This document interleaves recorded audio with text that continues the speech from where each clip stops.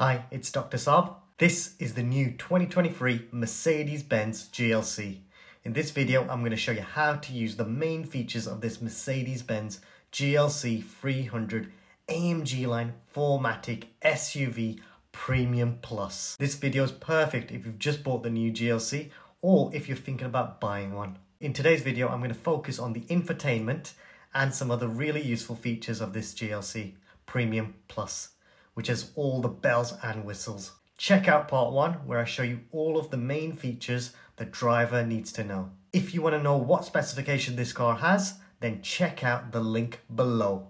Don't worry, you will not need to memorize everything I say in this video because I have made a summary sheet of what features the car has.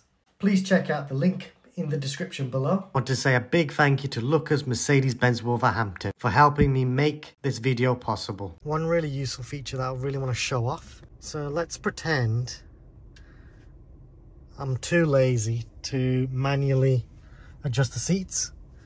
Mercedes actually have this feature. If I go to comfort and then go to position seat automatically. Now, if I set my height, so let's say think I'm about 5'8".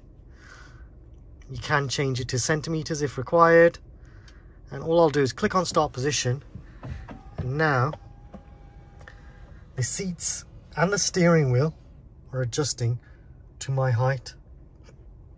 And this is the recommended driving position for myself now. Which is very interesting. I might save that to M2. So to do that, M2. Let's save the driving position. It's actually, I feel higher, so yeah, I think Mercedes might be right here. This might be a better driving position for me. I like it. So to pair your phone, I have done a separate video on how to do that and how to connect Apple CarPlay. So if you want to watch that, check out the GLC playlist and that'll show you how to connect your phone to the car. What I have done in today's video, which is a bit different, I've connected my phone with a cable. And now I've got Apple CarPlay. So if I go to home smartphone it's right there. So I can't connect the phone here. But if I click Apple CarPlay right there I just need to accept and start. And now you can see I've got Apple CarPlay set up. I've got access to all of my apps that I like to use. Nice and clear. Takes the full screen nearly. There's just this little edge here. You can notice there so that's interesting. When I go out of Apple CarPlay, it takes the full screen, including that little bit there. It's not the end of the world, it's fine. Now, next, I am going to show you these, the temperature controls. And you'll notice I can change uh, the dual zone climate control. I've got dual zone for the rear passengers as well. And again, it's exactly the same on how you use it. And let's pretend the passenger wants 21 degrees, I want 18. And let's pretend that it needs to be the same. I think I'll hold this down. And you'll notice now, the temperature's actually gone to 22 degrees. That's the recommended uh, temperature that Mercedes-Benz say the car should be when passengers are in the car. It's a hot day, so I'm gonna go with 20. If you want to unsync it, you can like so. If I want to sync it, so it's 20 degrees on both sides. You can by just clicking sync. If I want to switch off the AC, just press that button. I want to leave that on. AC, I recommend keeping that on. Uh, these systems are designed to be on to give you nice fresh air in the car. And it also helps to prevent demisting your windows as well. So just a useful little hack there. If you need to manually adjust the, where the airflow is, you can. But I tend to leave the car in auto, like so. I let the car figure out how to distribute the air. If you press this button, let's say you're going in a um, underground, I would press that button and then any nasty air from the outside shouldn't get into the cabin. If you're on the motorway, press that button and if you're behind like a big truck or a lorry press that button and then uh, you should have a less smelly car and then when you're finished just press that again if the windscreen's frozen up then just press this one for the front one and then this one for the rear. I've accidentally pressed it. Put it back in auto. It's really warmed up the car straight away as well. I can feel that. Very interesting. Oh, another feature as well. So when the car's warmed up, you do get something called residual heat. So you have got residual engine heat utilization. So what you can do is leave the car and this is only for premium plus models. You can leave the car with the heater still running and the car's off and the car will try and keep the car warm for about 30 minutes. That's pretty useful, especially in winter. I've just noticed as well, I can control the second row seats, their climate control, which is very useful. Now I'm back in the home screen. I'm going to show you how to use the radio. So you can access the radio from here or it's prompting me if I want to choose a radio now. I'll, I'll choose from here. And then here you've got your radio and you just swipe. You can change the list by pressing this button. Then you get a list view, which might be easier for you. You'll notice a little star. If I click on the star, that will now save into my favorites. So if I click favorites, you'll see these are all my favorites. If I want to get rid of any, I just click on the three dots and delete the entry. And that's quite useful. And then all sources, if I want to search for any radio stations, I can. You've also got AM radio, so that's very nice. But you've got FM and digital radio. You've got alphabetical order as well which is useful. Press the I button. What does that do? Well, that just gives me more information on, on this radio channel if I want to. And then these are the sound settings. So you can change the sound as well. So I would actually leave in 3D sound because I want a more immersive sound. Pure, the sound will be then mainly from the front speakers that's quite useful to know. And then personal sound profile, if I give that a click, you can see this setup assist enables you to create your own personal sound profile for your Burmester audio system. So this is only with the Premium Plus model with the Burmester speakers. So I click start.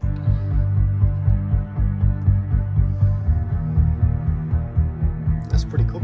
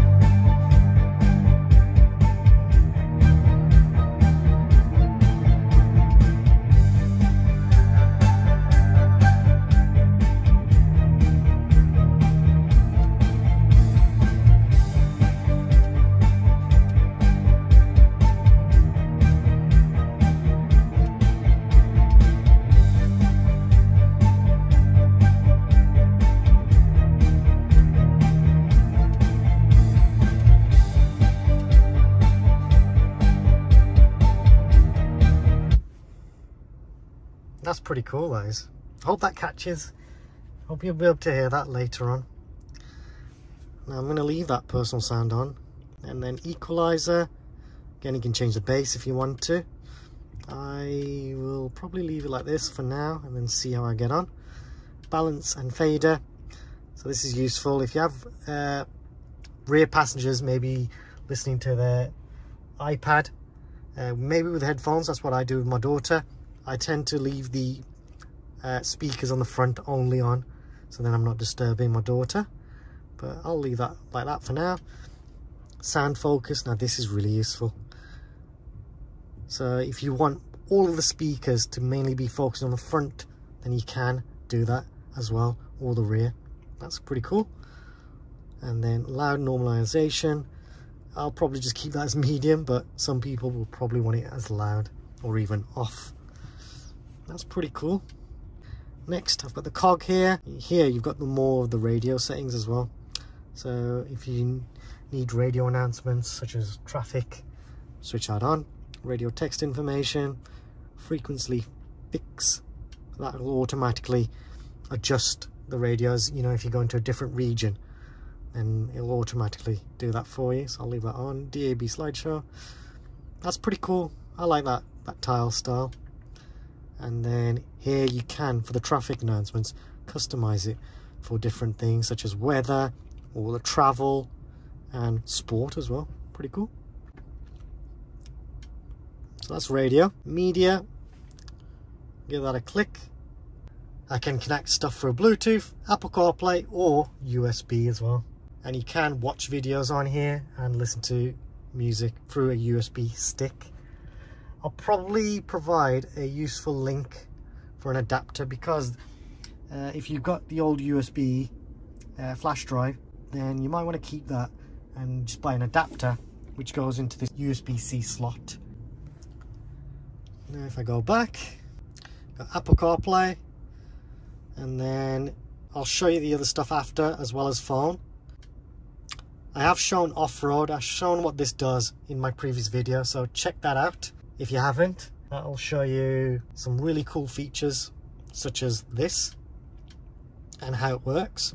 Now if I move down, I've got these controls here. So if I click on that, it changes the driving modes of the car. So I've got the off-road mode, got eco, comfort, sport and individual.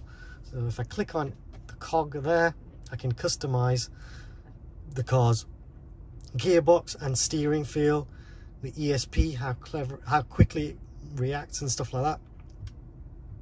So if I give that a click, you can have a more sporty setup. The sound of the car, if you want a more of a engine note, click on sport. Steering, you've got comfort or sport, and then drive, eco, comfort, sport. If I go back to off-road, so driving systems being adopted, therefore only use the program for driving off modes and not on public roads. That's fine, I'll just pretend I am. And now you can see the maximum speed is only 68 miles per hour. And the car's gearbox and everything is going to be more torquey. So it's designed to be on gravel and stuff like that. I'm going to put the car back into auto mode. Oopsie, click the wrong button. So I'll go back to comfort. What I tend to do is keep in comfort while I'm uh, driving locally and then put in sport when you're on the motorway because that'll hold the gear longer. That might be quicker. Eco, use that when you're in stop start traffic. So that's when I would recommend using that. Otherwise keep in comfort. And then individual, I would probably set individual as a sportier drive but with the comfortable steering. That's how I would set it up. Let me know what would you set yours up as. I press this button, this then loads my cameras. And this is the 360 camera. Now this is very useful. I have done a separate video again on the self-parking feature. So that uses the 360 camera. So check that out. That is very useful. And all I'll do is click on there and then the car will find a parking space. I'll put back to camera views and you'll see if I click that one that's the front camera This one's for the rear.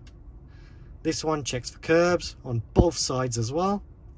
And then auto, that'll just put it back into an auto mode for the, and you'll get a bird's eye view of your car, which is very useful. And if I press this one, now every time I come into this area, the car will then put the um, camera on by itself, which I think is very useful. If I engage reverse, again, you'll see I've got the 360 camera and then I've got my reverse camera actually, because it says here rear camera. And what I'm going to do, I'm just going to see if I can show you something else. So I'm going to show you how the sensors work. As I go closer, you'll notice that it's changed the angle. It's gone uh, a bit bent and it's yellow. As I get closer and closer, it actually changes color to red as well. So that's saying I'm getting really, really close. Uh, so that's very useful. That red line, that's to signify that that's the front of the car. So don't go past that red line, otherwise I'm going to be hitting that. So, and then if I get too close, that beeps to say you're too close. And then if I engage reverse, you'll notice that now it's back to blue. So that's a perfect amount of distance around the car. Very useful, I think. If I move forward again.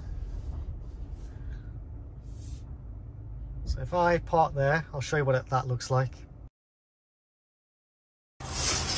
So you can see there's a good amount of gap. You can walk around the car as well. While I've got the car running, you can see the headlights as well, which is nice. Got like a floaty kind of design to it. I'll move back into the car. I just want to show you what the reverse gear does and the reverse sensors. So if I go all the way back, you'll notice it's going yellow, yellow, yellow. That's saying that's very close. So let's put the car into park and check that out. So you can see that's really close. It's about steering wheel size, isn't it, that gap? If I move forward, if I leave it around there, that's the perfect amount of gap to leave. So then anyone with a pram or a wheelchair can go around the car. So that's very useful, I think. If your car doesn't have 360 camera, there is another way to check how much gap to leave at the rear of the car. You might have noticed a little yellow line just sticking out. That is the recommended space to leave when parking. And you'll notice again, if I reverse, the blue changes and the colour of it changes. That's really close, so I'll, I'll leave that like that. And that's it. Now if I press this button, this allows quick access to certain features of the car that you might need to use, such as the car wash mode, the interior protection. So if I click on that and then leave the car and lock the car, if there's passengers in the car, the car alarm won't go off, so that's quite useful. I'll leave that back on.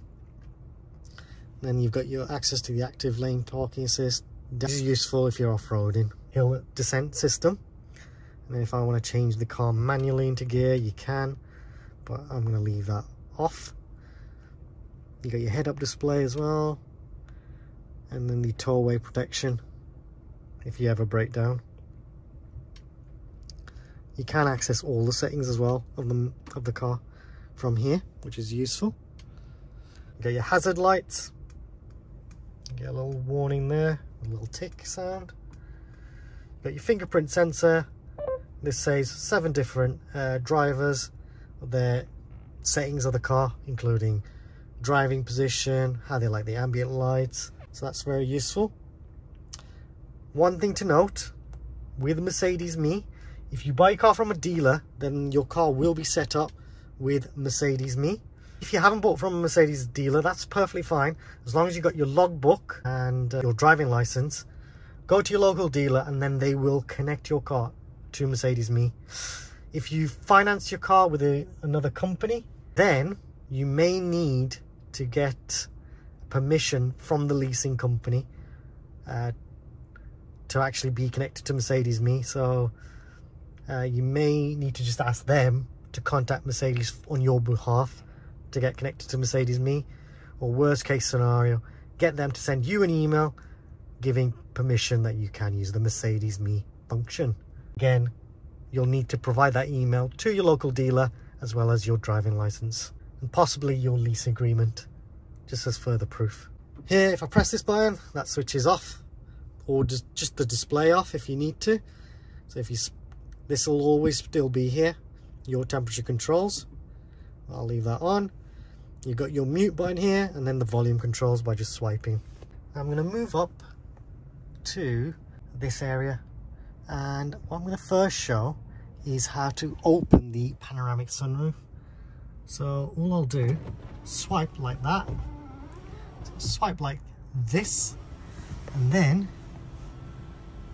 the sunroof opens up, which is very useful. And then if I want to close it, all I'll do is swipe like so. That closes the, the panoramic sunroof. I have also got the electric blind, so if I swipe like again, the electric blind will then close. Now if I want to open the blind again, just do a swipe function. It's a huge panoramic sunroof. Compared to the old GLC, they've made that Zilla much thinner. You have a huge panoramic sunroof and then if I push this I have just a bit of uh, air if I need to. And then if I press it again you'll then close it. Very cool. Very useful. Now here you'll see the passenger airbag. That's off. That's perfectly fine. When someone's sat there that's when that will then say passenger airbag on. Only when someone's sat there. So that's very useful to know. I will show SOS in a sec press this. That means when you open the doors the lights will not turn on. And then you've got your rear lights. And then lights on the front as well which you can't really see because it's so much light today. And then you've got your Mercedes me. So if you were to break down press that button. And then someone will speak to you through the speakers of the car.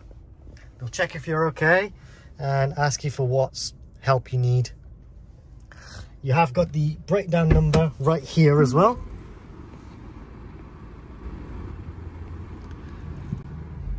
Just in the door and then you can call them directly that way.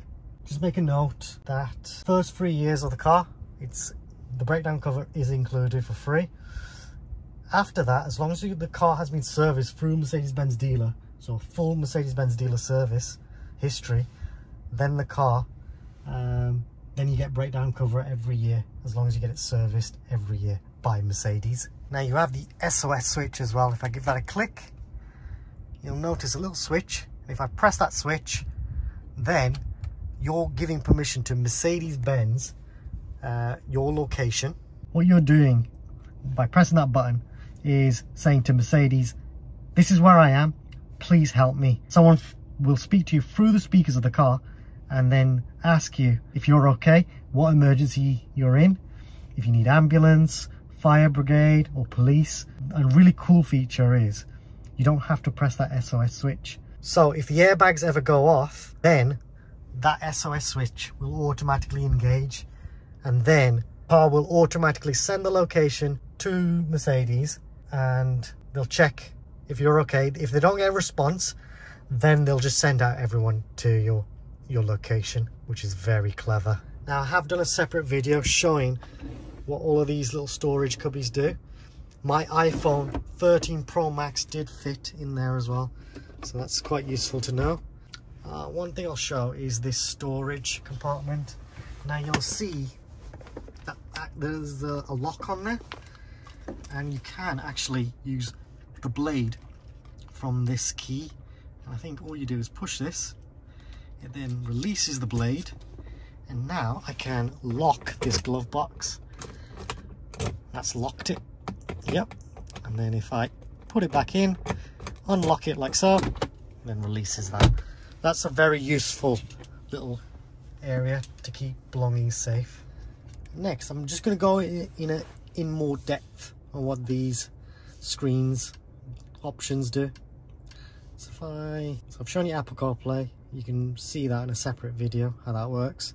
Info, this just gives me information on the car, vehicle information, engine information. You've got your apps, so you've got your dash cam in here as well. And you will need to use a USB to store the recordings, so that's quite cool. Very useful. You have your Mercedes Me, again I've explained that. I don't think that's going to work because it's not connected to an account. So I can do that through the car as well, which is useful. But a Mercedes local dealer will be able to set that up. You have your browser. I have done a separate video on this, so all you need to do, you can hotspot off your phone or you can pay through a subscription through Mercedes Me portal and access internet that way but I would just hotspot off your phone and then you can access YouTube as well as your favorite websites that you like to use. License info, if you click on that, that just gives you a really in-depth information on the license that Mercedes uh, use and then click on gallery. Now this is very useful. So if you, the car will monitor using the four cameras. So it's got something called Guard Plus and if the car someone's trying to steal your car you'll be notified through the Mercedes Me app I think and you'll be able to see who's exactly stealing your car and notify the police. So that's very useful. And if you've got a USB stick if you've got it connected to the car it will then save any dash cam and the collisions as well. That will save. You have got a hard drive on the on the car but I don't know how big the hard drive is. Click on that, that might reveal something. Nah but it will hold at least at least a dozen photos. I have seen that in the past. Comfort, if I click on comfort first because that's more fun, You've got the ambient lighting, seat kinetics as well before I move on. Now this is useful if, if you're on a long long journey, uh, the car seat will adjust during the journey just so you don't get tired as much. So that's very clever. Instead of a traditional seat where it just stays fixed, the seat here will just keep adjusting slowly just to keep you as fresh as possible. You have your 64 light ambient colors and you can change it to a multicolor if you want or a monochrome. And the brightness as well you can change that to high low and you can set zones. So if you're getting too much glare on the windscreen from these ambient lights you can dim these if you want to and then the bottom ones you could keep nice and bright. That's up to you. And then effects as well I'd keep this on because it just gives a bit more drama when you're coming in and out of the car. And then if the alarm ever goes off the ambient lights will also go crazy and they'll flash like crazy which is cool. And then the climate I change the temperature. You won't see it but as you increase and decrease the temperature these ambient lights will change color to red or blue depending on hot or cold. That's quite cool I think. Settings, if I click on that, this is the full settings of the car. So here you can switch on and off systems, collision avoidance. Here you can customize things such as how early you want these systems to react. If you find you might want to keep changing these, you could set this as a favorite and then change them while you're driving if you want to. I would keep it as late if you don't like these systems being on. You will need to have it on, uh, mainly because your insurance could be void if you switched it off. So I would keep it on for your safety, but maybe just change it to late so they don't kick in as much. The blind spot assist as well. You got a warning triangle in the mirrors to warn you if there's any cars in your blind spot. You got your traffic sign assist as well, so the car will tell you what the speed limit is of the road, just there. And then your attention assist, that is a really clever system. You're on the motorway for a long, long time. You might not realize that you're actually tired, but the car is actually checking your performance.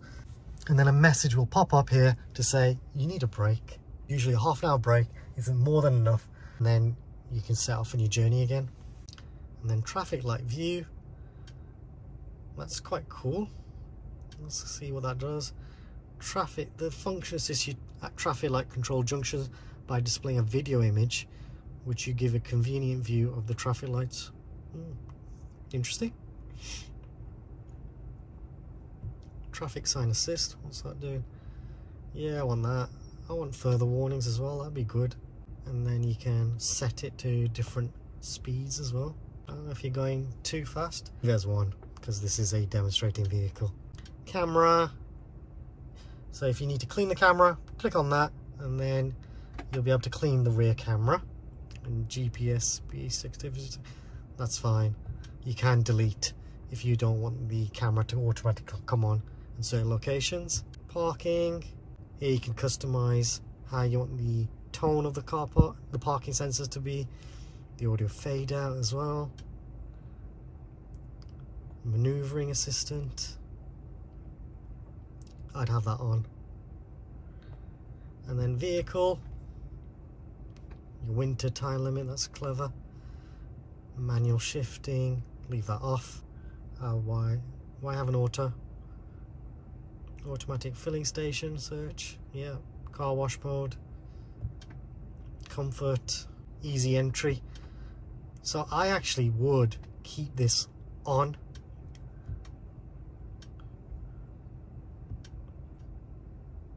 So the steering wheel, when I next time go in, will raise up. So it's just easy to get in and out of the car and then it'll come back down the steering wheel. Roof sunblind. Now this is personal preference. If you wanted a premium plus car but you didn't want, you know, the open sunroof, it might be just worth keeping the blind on. So that's something useful. Open close, you got the vehicle protection, that'll be on. Automatic locking, yeah. Acoustic lock, if you switch that on, what'll happen is every time you lock the car, the horn will go it'll go beep and then that's just letting everyone know that your car's locked. I don't think your neighbours will appreciate that. And then your automatic mirrors, I'd have that automatically to close. Why not? Dynamic select.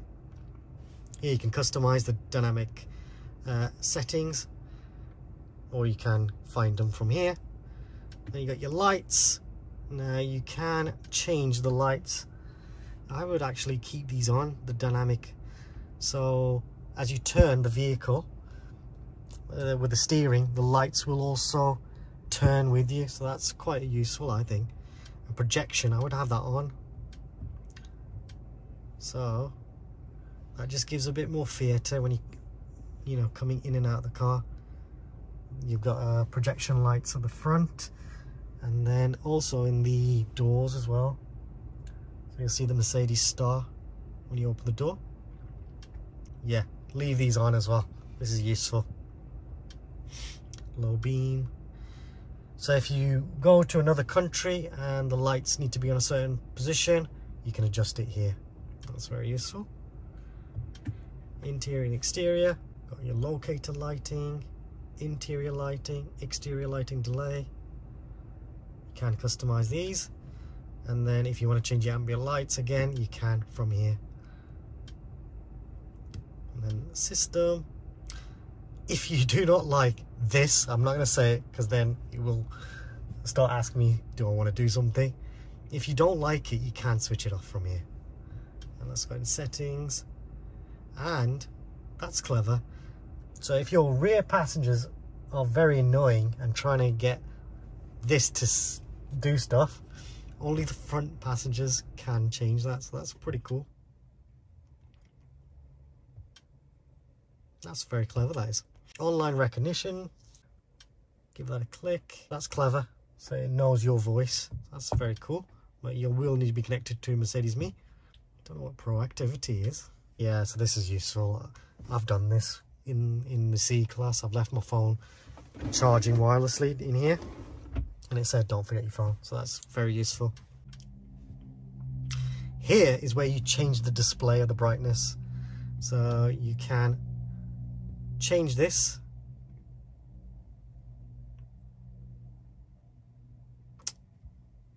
you'll notice it more when you're in the night at the moment, if I decrease it all the way, I don't know if that's picking up. That's maximum, that's low. Can't really tell, but really in the night is when you're going to notice it. That's clever. Activate, deactivate. Yeah, that's just for the screen. And then if you don't like the zero layer and you just want a traditional uh, menu rather than stuff prompting, automatically prompting, prompting to, you know, do stuff, then you might prefer the classic. But I like zero layer. Graphic goodies, now that is fun. So at Christmas time, the MBUX will change. So that's pretty cool, I think. So on special days, the graphics of the MBUX will change. I love that. If you want to change the units from miles to kilometers, so if I click kilometers, you can see now the speedometer is now in kilometers. Even up here, I've got kilometers. I'll change it back to miles. Coming back here, you can change the language if you want to. And then your keyboard, if you want to type stuff, you can. And you can change the language as well. Then control elements, what's this, acoustic feedback? Oh yeah, that's for the touchscreen. So I'd keep that as normal. And how quickly, how sensitive do you want this? Do you want this to be slow, medium or fast? I'll keep it as slow. And then info. So the great thing about this car, you don't need to use the manual, which is down there. You could just use the manual built into the car.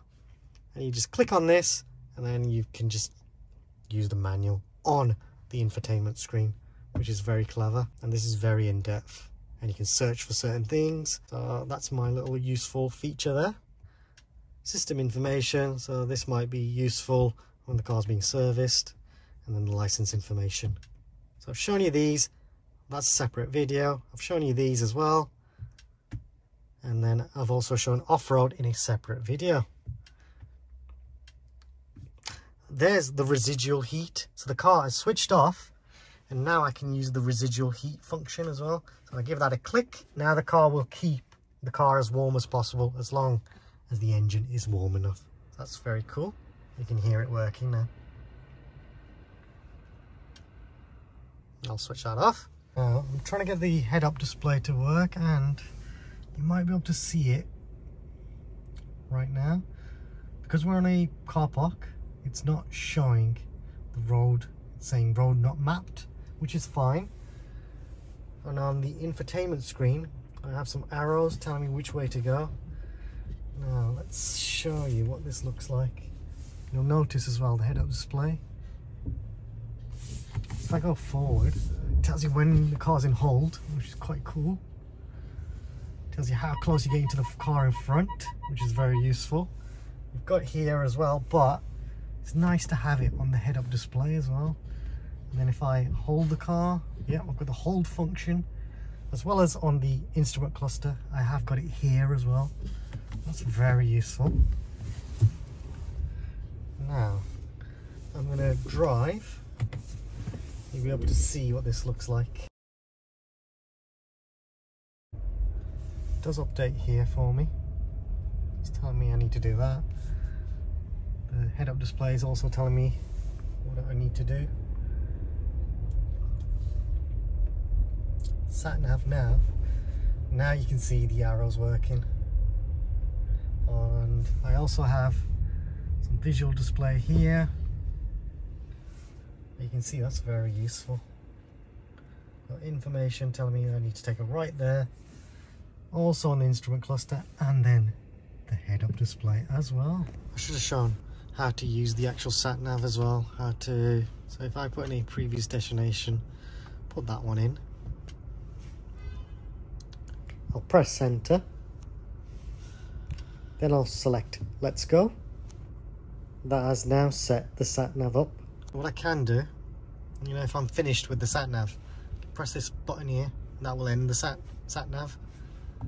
And then I've got more information here as well, which is quite useful. This then provides me more information. I can change settings if I need to, to avoid anything and then also if I go back here I can change what I want to see in the view. Message and tones.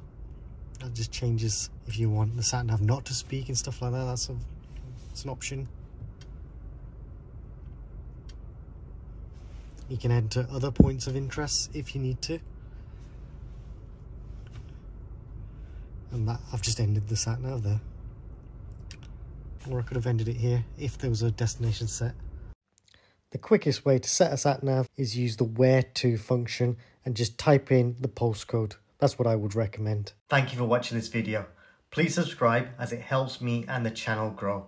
Please like this video. Also comment if you have any suggestions or questions. Before I forget, there is a new thanks feature. If you want to donate to the channel, then please feel free to use this feature and any money raised from YouTube will be used to buy more equipment. Check out the GLC playlist for more videos related to the GLC. Even though the cars in the GLC playlist are of the C-Class, the features will be the same, so hopefully it helps you out too. I cannot believe we've had over a million views on YouTube. It's only been a year where I've been making long form videos and the growth of the channel has been amazing. Let me know if you would have preferred a shorter video because I might be giving too much information. Thanks for watching.